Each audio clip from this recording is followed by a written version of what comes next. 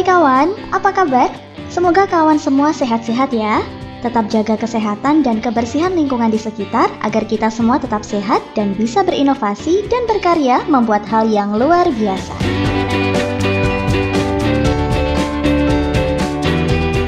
Pemirsa, kalian tahu kopi kan? Kopi adalah minuman hasil seduhan biji kopi yang telah disangrai dan dihaluskan menjadi bubuk. Kopi cocok dinikmati saat santai bersama keluarga, teman, atau pasangan sambil ditemani cemilan. Nah, pemirsa, ternyata kopi tidak hanya dibuat minuman saja loh, tapi bisa dibuat cemilan juga. Mau tahu gimana prosesnya? Eits, tunggu dulu. Sebelum lanjut videonya, klik tombol subscribe untuk berlangganan dan jangan lupa nyalakan loncengnya ya, agar kawan semua bisa mendapatkan informasi-informasi terbaru dari kami. Terima kasih.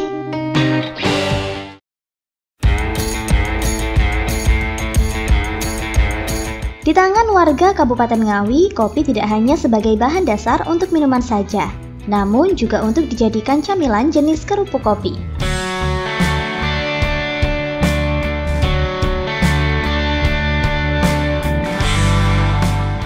Camilan kerupuk kopi ini merupakan inovasi Sri Nurwati, warga desa Dumplengan, Kecamatan Pitu, Kabupaten Ngawi.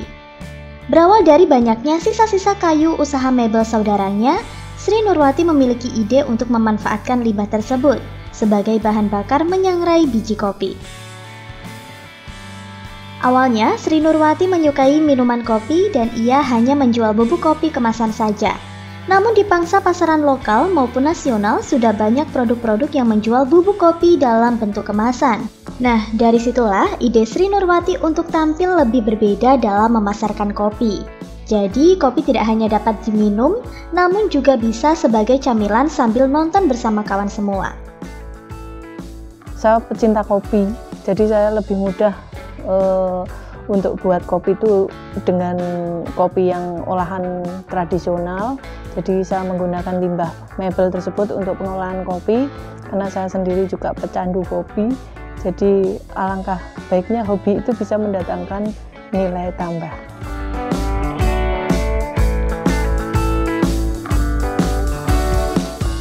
Nah, kali ini kawan di rumah sudah penasaran kan apa saja bahan-bahan untuk membuat kerupuk kopi? Yuk simak ekonomi kreatif episode kali ini.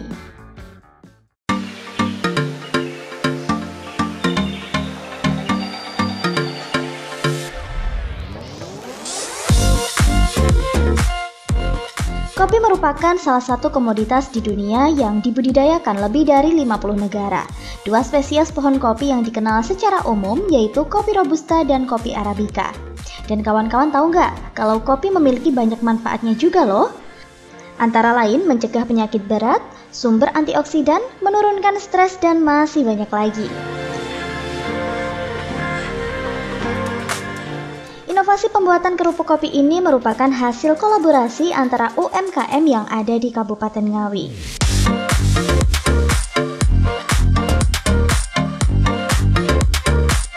Pemirsa, dalam membuat 1 kg kerupuk kopi, Sri Nurwati memerlukan 1 kg tepung tapioka, 1 per 4 kg bubuk kopi, gula pasir, garam, dan air hangat secukupnya. Bahan-bahan tersebut kemudian dituang dalam loyang yang sudah disiapkan dan dicampur hingga rata. Dalam proses pengadukan ini, Sri Nurwati masih manual sehingga dalam sehari kapasitas untuk membuat kerupuk kopi tidak banyak.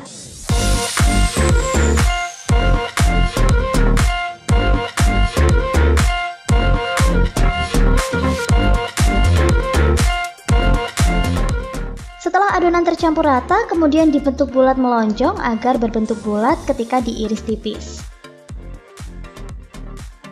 Kemudian dikukus selama satu jam hingga matang dan kemudian didiamkan dalam freezer satu malam agar membeku dan mudah ketika diiris.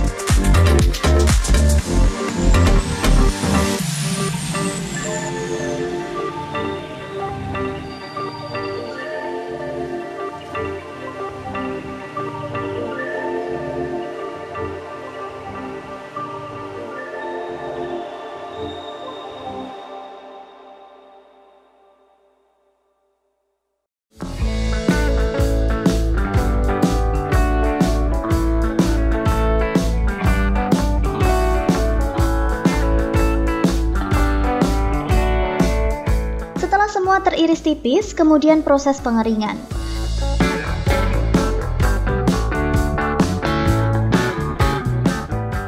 Dalam proses pengeringan ini, ia masih menggunakan sinar matahari.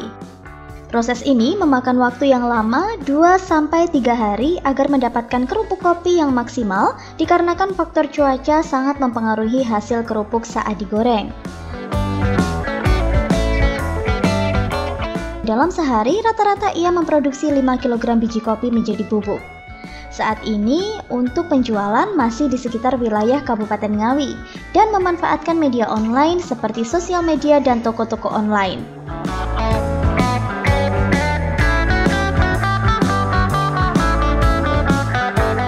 Untuk harga dipatok per kilogram dalam kondisi mentah seharga Rp80.000. Sedangkan untuk kondisi matang dengan berat 0,5 gram dihargai Rp15.000.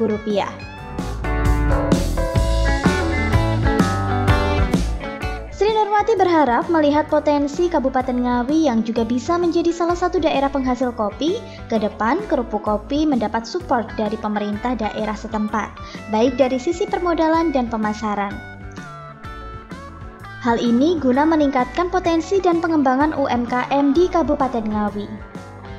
Sebetulnya saya pengen bisa membeli mesin yang untuk membuat adonan itu mudah-mudahan nanti dikasih rezeki biar bisa bisa membuat adonan ini sehingga bisa meningkatkan uh, produksi kerupuk kerupuk kopinya karena memang alhamdulillah sampai saat ini uh, orderan untuk kerupuk kopi meningkat.